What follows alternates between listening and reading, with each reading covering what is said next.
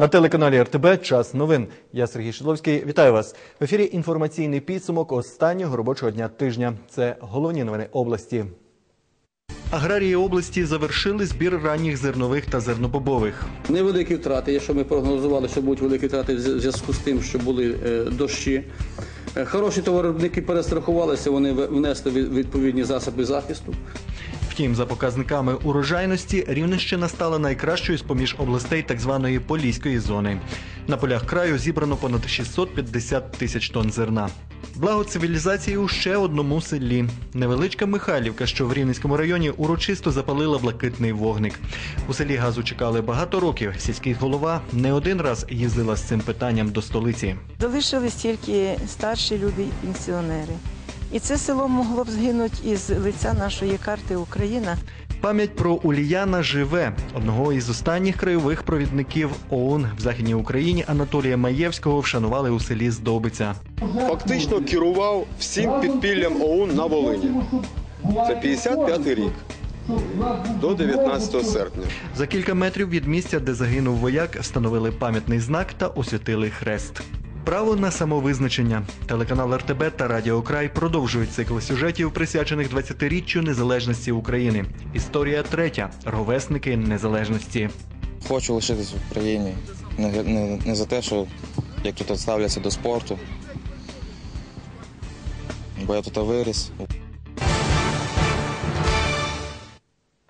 Аграрії області завершили збір ранніх зернових та зернобовових. За показниками урожайності Рівненщина стала найкращою з поміж областей так званої поліської зони.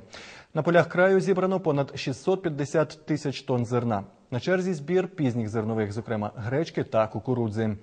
Більше про підсумки жнив в області Роман Свирида. Передовим районом у зборі ранніх зернових та зернобобових культур став Гощанський. Середня урожайність тут склала майже 45 центнерів із гектара. На другому місці у нас Млинівський район, 41 центнер і 1 десята. На третьому місці Радивидівський район, 38 центнерів з гектара. Четвертому Дубинський 33,2. І п'ятий Рівненський район 32,3 центнера з гектара. Більшими аніж упродовж останніх декількох років в області були врожаї пшениці, ячменю та жита. Щодо останнього, то центр його вирощування остаточно перемістився до центральних та південних районів області. Згідно програми підтримки виробництва жита, обласна влада підтримувала та фінансувала здебільшого поліські райони. Втім, через проблемні землі, які потребують вапнування та внесення великої кількості добрив, середня урожайність там низька. Виникла дискусія на серйозному рівні, чи варто це робити, тому що ми не підтримуємо центральні і північні ра- і е, південні райони, урожайність там прекрасна. І якщо у нас одне господарство, яке планує близько більше тисячі гектарів жита засіяти в Млинівському районі, в Млинівському, Радивилівському і Демідівському, то це практично весь вал північних районів. Але разом з тим ми прийняли рішення все-таки підтримувати північні райони. Загалом керівники області жнивами залишилися задоволені, адже Рівненщина за показниками середньої врожайності стала найкращою з поміж усіх областей Поліської зони Чернігівської, Житомирської та Волинської. Невеликі втрати, якщо ми прогнозували, що будуть великі втрати в зв'язку з тим, що були е, дощі. Е, Хороші товаровиробники перестрахувалися, вони внесли відповідні засоби захисту, що не дало можливості просто проростати зерну в колоссях. Тобто втрати невеликі. І вже на сьогодні в нас на складах, е, сертифікованих складах, е, це те зерно, яке йде в основному в державні ресурси, вже завезли сільськогосподарські товаровиробники близько 125 тисяч тонн зерна. Крім того, за словами Анатолія Юхименка, закупівельна ціна на зернові цього року буде значно вищою аніж попереднього. Роман Свирида, Назар Мідріган. Інформаційна програма День. Благо цивілізації у ще одному селі. Невеличка Михайлівка, що в Рівненському районі, урочисто запалила блакитний вогник. У селі газу чекали кілька років. Сільський голова не один раз їздила з цим питанням до столиці. Головний її аргумент: якщо газ не підвести, то стареньке село просто зникне з карти України. З Михайлівки повернувся Іван Марчук. Хай дітки забавні, правда? Ви їм жить. Вище, вище, вище.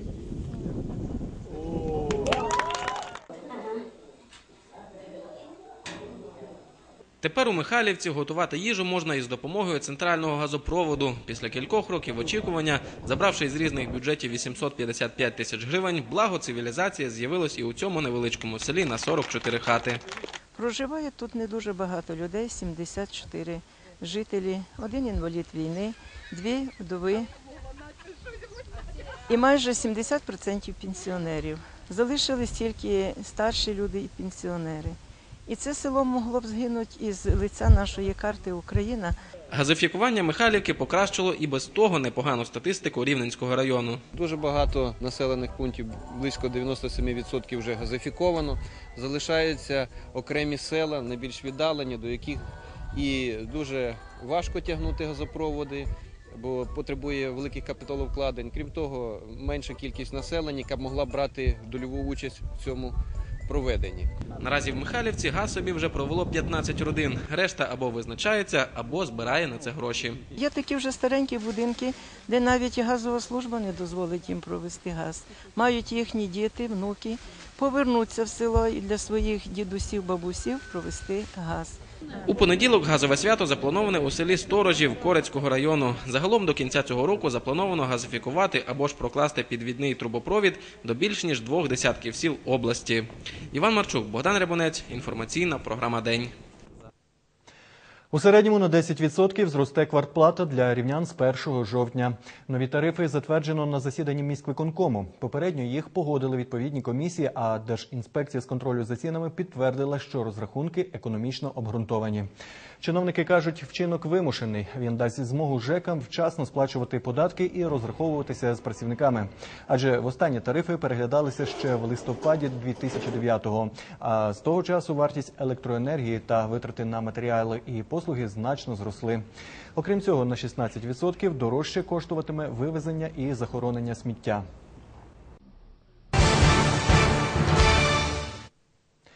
Пам'ять одного з останніх командирів ОУН вшанували у селі Здовбиця з Долбунівського району.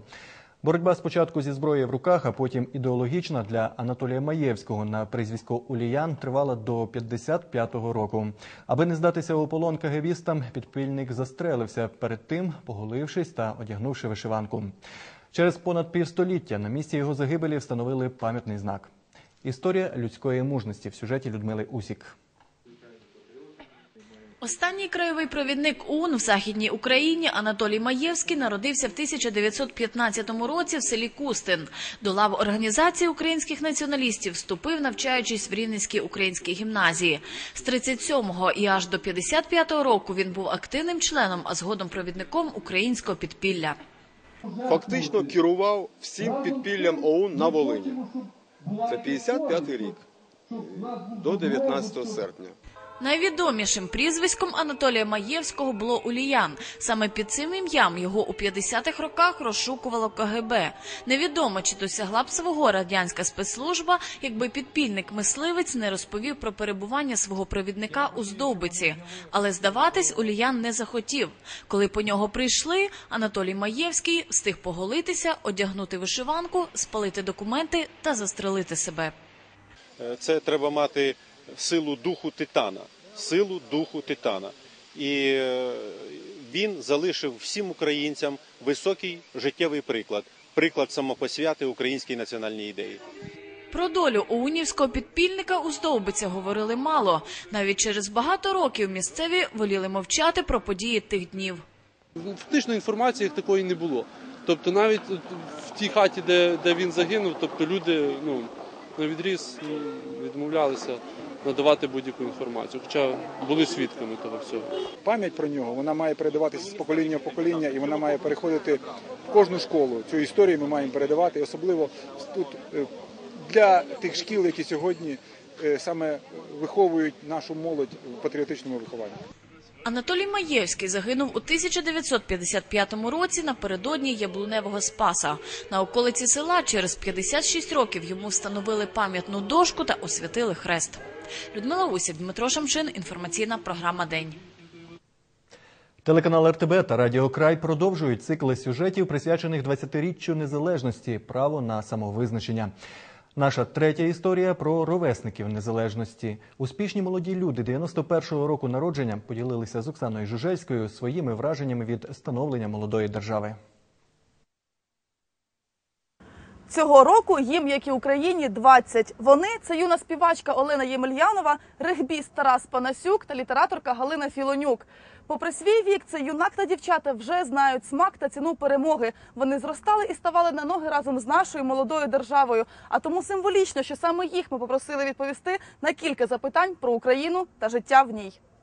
Олена Ємельянова все життя співає. Відтак питання вибору професії не стояло. Цього року дівчина закінчила Рівненське музучилище і вступила до РДГУ. Найбільшою перемогою вважає гран-прі на шоу Західний регіон.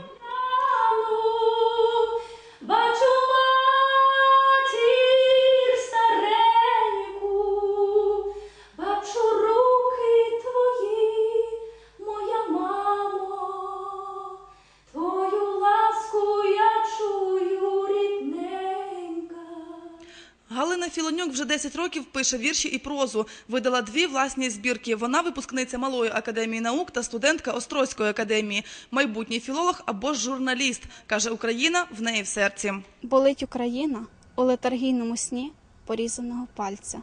Тепер боюся брати до рук ножиці. Остання сніжинка жовтого кольору, як небо на перевернутому прапорі. А от Тараса Панасюка 9 років тому друзі привели у регбі. У цьому спорті він і донині кілька років тому юнак здобув бронзу чемпіонату України. Спортивна мрія Тараса увійти до складу збірної. Ці молоді люди між собою навіть не знайомі. Втім, усі вони ровесники незалежності. Я горджуся, що я українка. Е, Мені подобається і українська мова, і українська культура, український побут, українські традиції. Ну, я хочу лишитись в Україні. Не, не, не за те, що як тут ставляться до спорту. Бо я тут виріс в Україні, народився. Патріотизм це не лише любов до своєї землі, це любов і до того місця, де ти народився, і в широкому розумінні до України. Але це щось таке, що не можна писати. Якщо ти це відчуваєш, то відчуваєш, а ні, тоді ти не на своєму місці. Вони такі різні, але такі однакові водночас. І болить їм кожному своє, проте у чомусь вони все ж схожі. Велика політика або ж великий бізнес.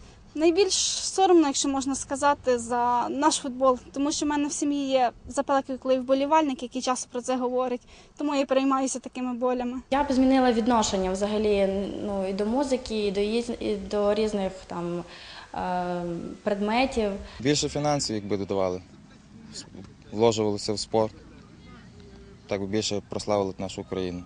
Втім, попри усі негаразди, вони всі єдині у своїй вірі у майбутнє, кажуть вони, як і держава, молоді і найкращі роки ще попереду.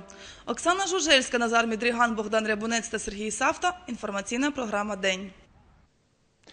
Яблучний спас або преображення Господнє 19 серпня святкують християни східного обряду. Це одне з 12 найбільших християнських свят. Цього дня у храмах святять яблука, груші, мед та обжинкові вінки.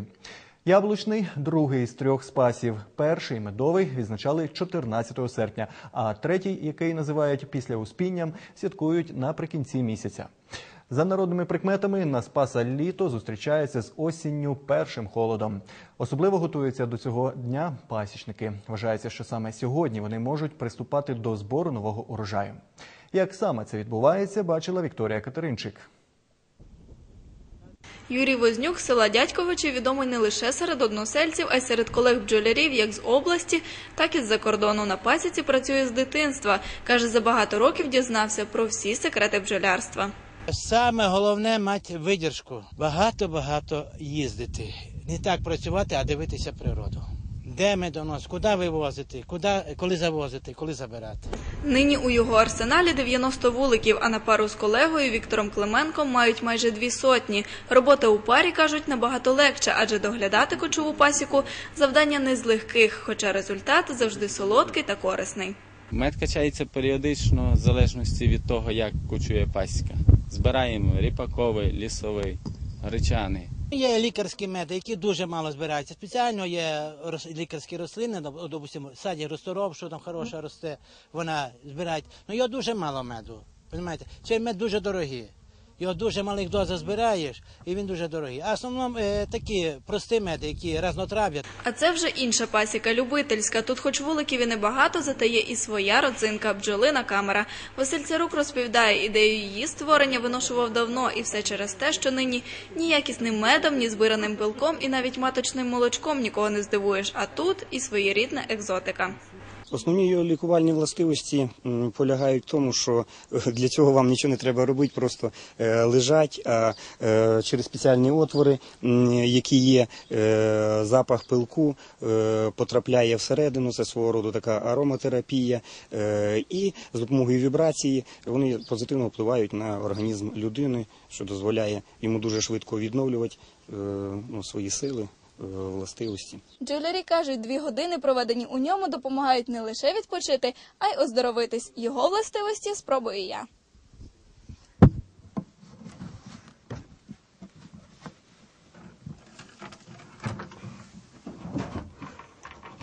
Вікторія Катеринчик, Сергій Савта. Інформаційна програма День.